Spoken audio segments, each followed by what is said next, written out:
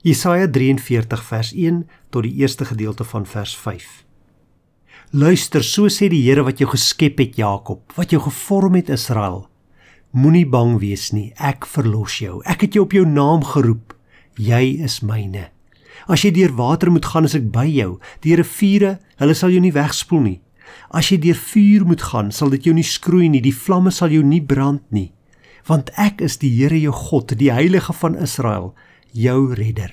Ek gee Egipte as losprys vir jou, kus en Seba in jou plek omdat jy vir my kosbaar is, omdat ek jou hoog ag en jou liefhet, gee ek mense in jou plek, volke in ruil vir jou lewe. Moenie bang wees nie. Ek is by jou. Waarvoor is jy bang? Miskien sê jy ek is bang vir niks. Ek is nie meer 'n kind nie. Ek is nie bang vir die donker nie. Maar waaroor bekommer jy jou? Waaroor lê jy snags wakker? Die Here sê jy hoef nie, want jy moenie bang wees nie.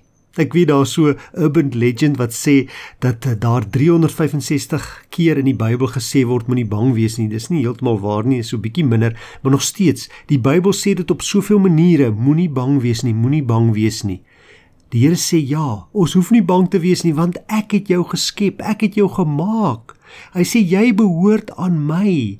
Ek het jou op jou naam geroep. God wil daardeur sê ek ken jou. Ek weet van jou. Ek weet waarmee jy worstel. Ek weet van jou probleme.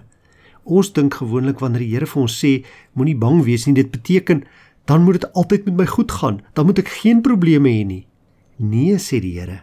Dit beteken dat wanneer jy deur die water moet gaan, ek by jou is. Wanneer jy deur 'n vuur moet gaan, hulle jou nie sal wegspoel nie. Die probleme sal daar wees. Die moeilike tye sal daar wees, maar weet dan ek is daar saam met jou. As die vuur kom, sal dit jou nie skroei nie, die vlamme sal jou nie brand nie. Die Here sê vandag vir jou, jy is vir my kosbaar. Ek ag jou hoog. Ek het jou oneindig lief. Gee daarom vandag jou bekommernis en jou vrese vir die Here dat hy dit hanteer. Here, ons dank U dat U vir ons sê so duidelik, ons hoef nie bang te wees nie. Vergewe my waar ek dikwels nog vrees in my lewe het. Help vir my om oor te gee aan U, om U te vertrou met my hele lewe. En dankie vir die belofte wat U vir my gee hier in Jesaja 43 dat wanneer daar moeilike tye kom, wanneer ek deur die water en deur die vuur moet gaan, is U daar. Die vuur sal my nie skroei nie. Dankie dat U my ken. Dankie dat U my omstandighede ken, dat U my swakhede ken en nog steeds lief is vir my. Help my om vandag op U te vertrou. In Jesus naam bid ek dit. Amen.